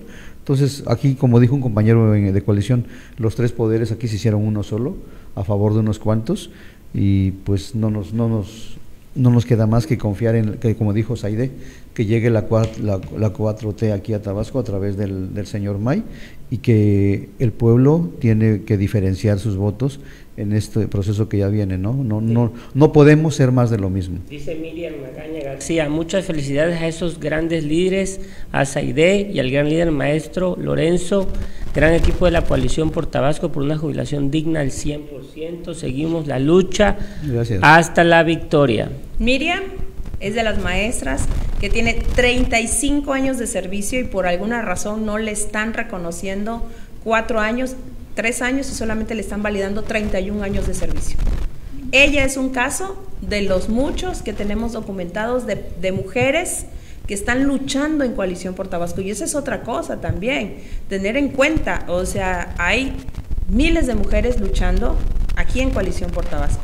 Dice Mariana de la Cruz, una decepción la 430 Vasco. Abel Torres, maestra Saide, no estoy de acuerdo al mencionar que el gobernador no sabe o le dieron otra información. Este señor que le dieron la chamba de fingir como gobernador, si miente, no es la primera vez que lo hace. Cuando fuimos a la Ciudad de México se pronunció en que no entendía las razones de nuestro viaje, ya que él había dado los espacios para el diálogo. Una vil mentira que expuso ante los medios, nunca se pronunció para entender a la coalición, no es la única mentira, la mayoría de los tabasqueños sabe de su incapacidad y sobre todo, como lo dice ANLO, los mirones profesionales, pero también en Tabasco se da el chayote. Carlos F. Ramírez, ¿qué necesidad había de tener que pelear por un derecho que nos asiste? Es antinatural para el gobierno no ver por los intereses de sus gobernados. ¿Qué padre o madre no se preocupa por sus hijos? Pues he aquí la, muestra, gente disfrazada de morenistas para llegar a un cargo público, para traicionar al pueblo, al mismo presidente ANLO, gastar el tiempo, dinero, salud, peleando. ¿Es esto justo? Habrá consecuencias.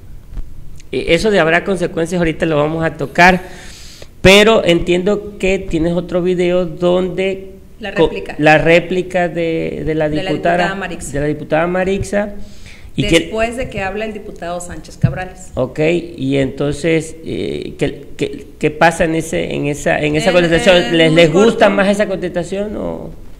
Pues obviamente ella está defendiendo el posicionamiento inicial uh -huh. que está diciendo y le está dando réplica a Sánchez Cabrales, pero ¿qué te parece si lo ven y que sea el público el que, el que juzgue el que opine. y el que opine al respecto? Ok, vamos, a, vamos al video y ahorita continuamos. De uno de los diputados no faltistas ¡La mentira! Es solamente el pasado. Y quiero decirle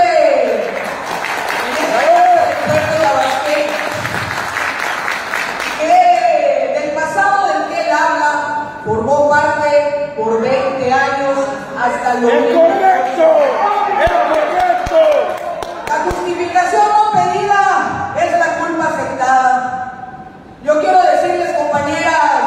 compañeros diputados, que el exhorto presentado hace un momento por una servidora, si lo escuchamos con el corazón, solo pide una cosa, escuchar a los trabajadores del Estado y en conjunto encontrar una solución pronta.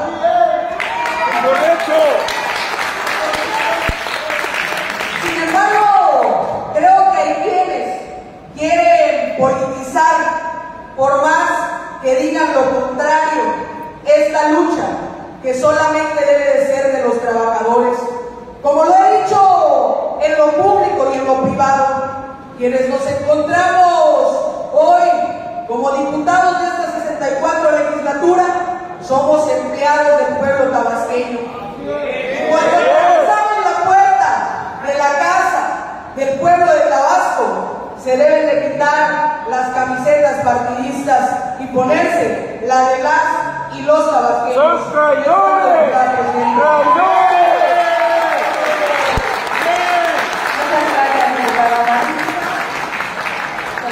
Son priistas. Que le que tú eres un priista. Votamos 6 de 6. ¡Qué error! Su permiso, presidente. En casa los espero. A ver, compañeros. Está bueno. Está bueno. Pero el compañero que me antecedió, para todo tabasqueño, para tener la lengua larga, hay que tener la cola corta. Así es. Seis Esa años. la tiene muy larga. Es un dinosaurio. Seis años con Morena. No hay convicción. Es business. Y sí, vergüenza deberían de tener aquellos que impusieron candidatos y andan buscando candidatos en Macuspana, pidiendo el voto, cuando aquí aprobaron una ley que afecta a ustedes.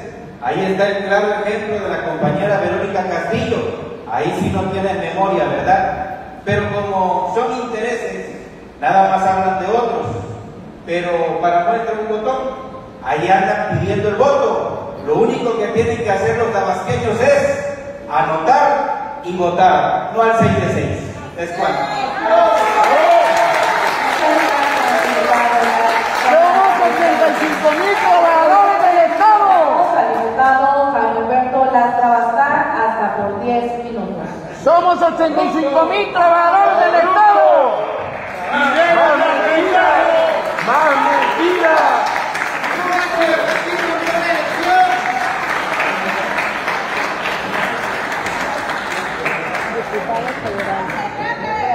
Buenas tardes a todas y a todos. Quiero aprovechar esta oportunidad para agradecerle Y bueno, pues ya vimos el video, la verdad que, que se, se, pasó de, de, un, de un enojo de que no se resolvió el problema a una cuestión, ahí sí ya yo creo que ya se pasó una cuestión política, porque dijeron ya, el último diputado dijo, ya saben qué tienen que hacer ahora que van a votar, ¿no? Que no voten 6 de 6, dice él. Entonces, este, pero bueno, ¿Qué, qué, qué, qué, qué escuchas del- de, lo que dijo la diputada Marixa? ¿Qué fue lo que les, les animó en esa parte? Pues primeramente, eh, sin ánimos partidistas y sin ánimo de politizar esto, porque Coalición por Tabasco no es una asociación política, es una asociación civil, Civil. pero sí tenemos que reconocer el, que Marixa, y hoy lo decían muchas y muchos trabajadores que nos acompañaron el día de hoy, ellas le expresaban a Marixa, gracias por ser nuestra voz en el Congreso. Y como bien lo decía Marixa, eh, en el momento, la diputada Marixa, en el momento en que se atraviesan las puertas del, del Congreso, bueno, pues se deberían de olvidar las camisetas y legislar a favor del pueblo. Y creo que estamos muy de acuerdo con ella, pero sobre todo muy agradecidos por ser nuestra voz, porque es, pues es la única que se ha pronunciado. Entendemos que, pues ella está haciendo su labor, ¿no? Su labor de como, como oposición. Y, pero pues esa labor de oposición pues nos ha beneficiado a Coalición por Tabasco y pues la y pues la aceptamos o sea quién no va a aceptar la ayuda eh, y quién no va a aceptar que alguien que pueda alzar la voz ahí en el Congreso lo pueda hacer porque obviamente si hubiese sido Morena quien hubiese querido alzar la voz también la hubiésemos aceptado si hubiese sido otra fracción parla- parlamentaria también la hubiéramos aceptado o sea simplemente pues ella fue la que la que apostó y la que subió a tribuna la voz de coalición por Tabasco y pues estamos agradecidos con eso ¿Qué opinas, Lorenzo? Pues sí, es, es triste, ¿no? Que mm, unos traidores al pueblo, incluso ahí vi unos nombres que se están eh, religiendo o cambiando de, de, aspiración, ¿no? Diputados en este distrito van a la federal, en muchas cuestiones. Es triste eso, pero también es rescatable lo que hizo la diputada Maritza, una verdadera oposición que nos vende un, un aliento cuando en momentos de lucha, ¿no? En tiempos de cólera, lo que lo que más quieres es ánimo, es oxígeno. Ella nos los ha dado y nos ha este renovado los bríos para darle todo para adelante. Entonces, creo que es rescatable el trabajo y felicito a los compañeros que estuvieron ahí representando a coalición. y sobre todo que está abriendo un espacio y le está dando la oportunidad a, la- a las demás diputadas y a los demás diputados a que se sumen al llamado del pueblo. Y entonces, pues si las diputadas y los diputados no se suman al llamado del pueblo, bueno, pues el esfuerzo se hizo, ¿no? Y, Coalición por Tabasco ha buscado todas las puertas, siempre hemos eh, abonado al diálogo, jamás nos hemos este, negado al diálogo, eh, seguimos abiertos al diálogo.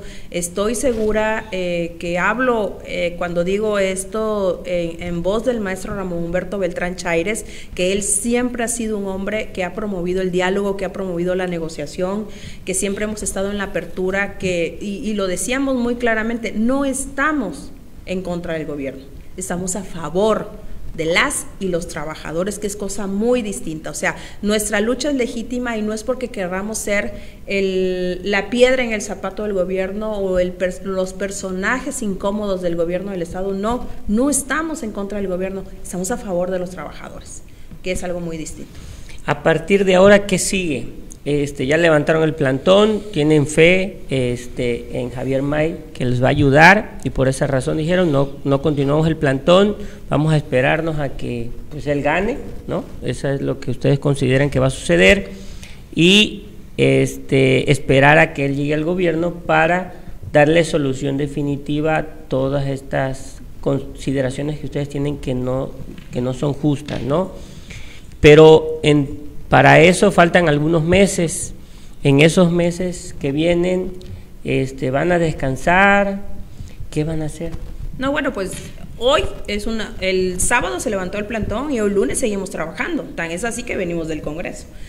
Este, nosotros estamos esperando también la respuesta del exhorto que se, que se subió el día de hoy. Los diputados tienen un término para contestar el, el exhorto. Desconozco el, el, término, la verdad, cuántos, cuántos días tienen, pero lo que dijeron ahí a la hora de levantar la sesión es que se va a someter a análisis, se va a someter al consenso y pues van a tomar una decisión. Espero que tomen la decisión para el pueblo. Entonces, este, ¿qué más sigue? Pues siguen todas las acciones legales que estamos emprendiendo, siguen, este, te decía yo que hay dos tocas ya, sentencias firmes eh, en proceso de ejecución. Muy seguramente los abogados de Coalición por Tabasco van a seguir este, trabajando el tema legal. Eh, tenemos también que, este, pues que sí, tomar fuerzas, retomar fuerzas.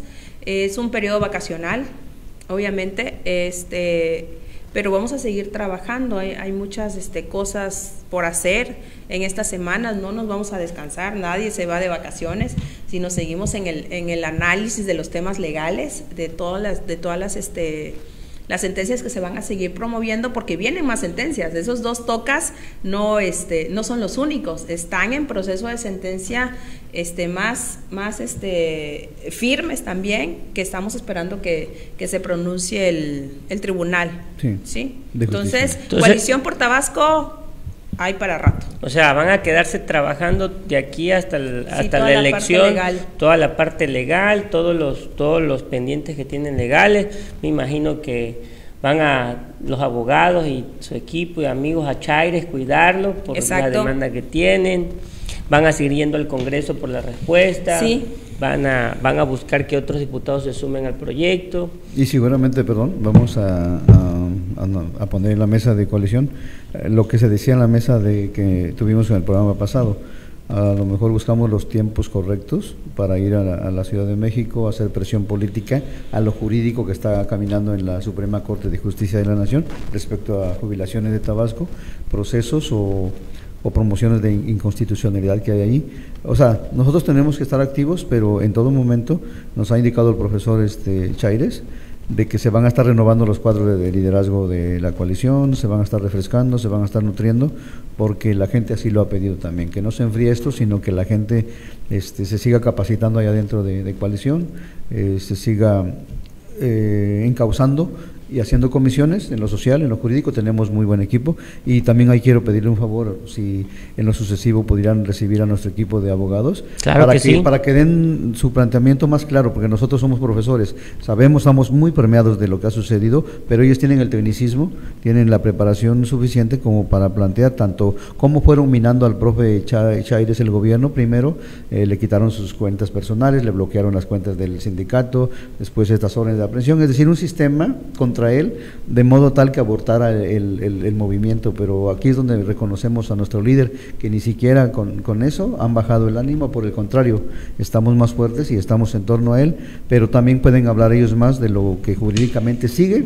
Y aquí yo creo que es un buen, una buena ventana para que nuestra gente, la gente que confía en coalición, estén más informados a detalle de lo jurídico. No, pues bienvenidos. Sí, y ustedes sea, pueden traer a los abogados, aquí los recibimos claro y escuchamos sí. también. Sí, sobre que todo que ellos les van a aportar una información precisa, sin, este, sin crear controversias, sin crear equivocaciones.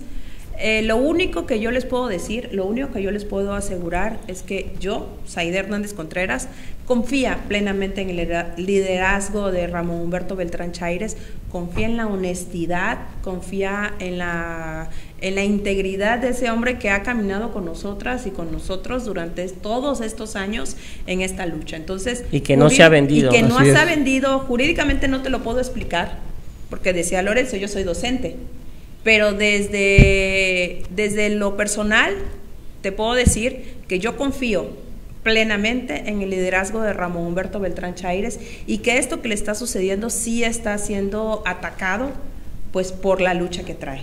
O sea, y, y que sigo confiando y que voy a seguir siendo coalición por Tabasco y que voy a ser, seguir siendo sindicato Y independiente. yo creo y yo creo que van a hacer otra cosa que no me han dicho y, ¿Qué y- y con este comentario que dice aquí creo que lo voy a entrelazar dice José Vasco dice vamos a hacer una lista de políticos no gratos para Tabasco ni para la sociedad y que nadie vote por ellos esa será nuestra lucha si ustedes se comprometieron y con el licenciado Javier May este, de creerle, pues primero tiene que ganar. Claro. Entonces to- estamos hablando que el movimiento de coalición por Tabasco a partir de este momento tiene dos meses pues para hacer un movimiento a favor de él. Estamos hablando que tentativamente habría un movimiento de 80 mil agremiados. A- a- Sí. a- eso, eso es lo que... Eso es la otra parte que tienen que hacer porque si no queda entonces... de- Yo creo que el candidato Javier May está perfectamente posicionado. O sea, las encuestas que han salido en los periódicos eh, no mienten. Está por muchos puntos arriba de, de los demás este, contendientes. Y, y obviamente sí, nos sumamos a la, a la causa de, y a la, a la lucha de Javier May. Pero también es cierto que cada tabasqueña y tabasqueño es libre de elegir lo que mejor le convenga y lo que mejor crea para su futuro, ¿no? Nosotros en Coalición por Tabasco estamos confiando en el proyecto de Javier May, Y- pero y- y- no podemos, o sea, Por eso, pero me imagino Sí, que van a hacer, lo van a ayudar, digo. yo esto voy, sí, Sí. eh, eh, amor con amor se paga. Eh, Claro. sí, Yo, yo, yo este, entiendo eh, algo de política en el sentido de electoral. Tú me prometes para mi pueblo de ochenta y tantos mil trabajadores al servicio del Estado de Tabasco, lo que menos podemos hacer o vamos a hacer, Claro, estoy es seguro, es, corresponder. es corresponder no solamente al señor May, sino también a la señora Claudia, que tienen un amplio margen, sí, pero entre mejor ganen, mejor se posicionen, es, ahí se va a ver el trabajo de nosotros, la, la lealtad al compromiso, ¿no? Pero también donde sí, yo hablo por a título personal, donde sí tenemos un encono, es con, con el centro, es decir, nosotros sabemos que si la presidenta de la República, que va a ser, eh, tiene un congreso mayoritario y aquí en Tabasco también, pues la- las iniciativas que ellos van a impulsar pues van a ser van a ser más factibles. Pero yo, nosotros, a la gente que nos pregunta qué pasa con la cuestión electoral para el municipio del centro, que es un bastión grande, pues ahí sí yo estoy siendo muy sincero, ¿no? Hablo a título personal. Yo les he dicho que no somos tontos. Los de coalición, tanto de, la- de las mesas de trabajo como los abogados y la gente que, que comula con, con coalición, asociación civil, somos gentes que pensamos, razonamos el voto y se va a notar nuestro, nuestro desquite en las urnas. Por ejemplo, caso del centro, yo sería dejaría de ser luz de, de aprendizaje o de enseñanza si yo voto por por una por una persona que se está religiendo con una mala gestión en el caso de la, ¿El MC? Eh, el MC pues es nuestro enemigo más este ¿Cómo ma- se llama más notorio cómo se llama pues lo voy a nombrar porque le respeto al señor aunque él nos respetó a coalición yo sí se llama Fernando Mayans pero creo que lo dije hace ocho días que él debería tener un poquito de, de- de conciencia y retirarse de la política porque no cabe no cabe él en- a lo que él aspira y ahí yo no votaría por él yo votaría por el menos malo y voy a analizar con la familia con los amigos diferenciar el voto para el centro va a ser una tarea de mi familia de mis amigos y seguramente mucha gente de coalición que el centro lo gane el que esté mejor posicionado, no más de lo mismo, no represores, no, no gente que le gusta la reelección. Y hoy en la mañana en la, en, la, en la mañanera le preguntaron al presidente sobre el caso de Tabasco. Es vergonzoso que en el caso de- del estado de Tabasco haya para el municipio de Nacajuca y para el municipio del centro dos personas que se aferran al poder a través de la reelección. Y bueno, digo, es su aspiración que tienen derecho, pero nosotros en el centro, caso donde yo voto, yo no me veo votando por el señor Fernando Mayán ni votando por Yolanda Osuna. Yo voy a razonar con los amigos por quién vamos, pero en cuestión de la presidencia y en cuestión de, de lo que le convenga a nuestro amigo Javier May, ahí yo digo amigo de coalición, ¿no? Este, vamos a, a darle duro, tupido, igual por la señora Claudia Seyman. Vamos con todo. Ok. De hecho, lo decía el líder el sábado que se levantó el, el plantón en una llamada telefónica que nos sumábamos al proyecto de, de Javier May y pues lo es la posición de, de liderazgo del maestro Ramón Humberto Beltrán Chaires. Ok, entonces todos con May. Todos con May. Somos mayoría. Bueno, pues ya lo escucharon. Por ahí me decía la maestra que vamos a hacer dos horas. Ya se fueron las dos horas. Sí, ya se fueron Dice, las dos horas. ¿qué tanto vamos a platicar en dos horas? Ya pasaron dos horas y si seguimos aquí, O sea, hay ma- hay- fácil hay nos llevamos. ¿Y cuánto llegamos? Ah, ah. Y eh, bueno, llegamos a tener más de 30 personas en vivo y más de, yo creo que más de 50 comentarios. Muy bien, excelente. Gracias Este, a Coalición por Tabasco. Gracias por a todos los que, que- que estuvieron aquí escribiendo, diciendo sus ideas. Se pasaron la mayoría este, a como lo escribieron. No es algo que yo opine, es lo que Claro. dicen nuestros, Sentir de la gente, ¿no? nuestros este, amigos de las redes.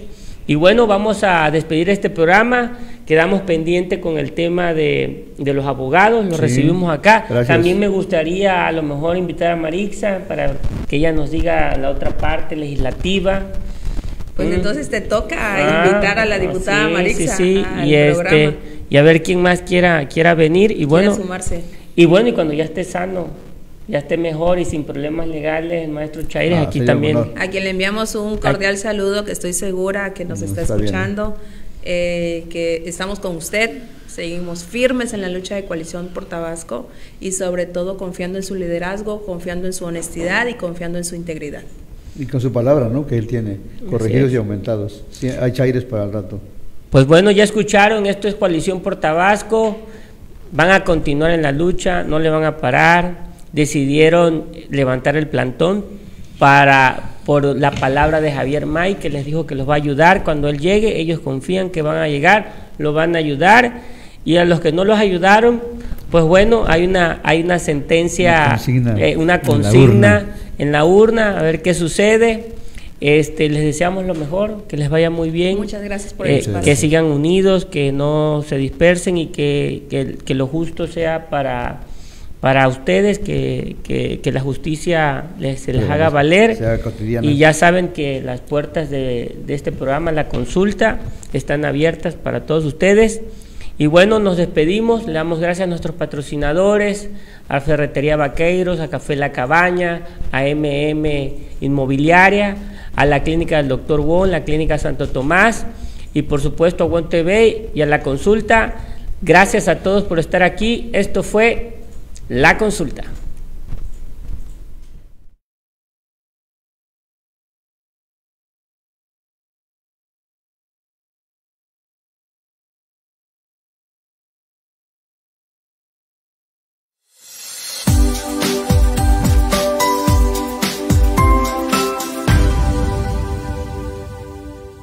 Vaqueiros Ferreteros presentó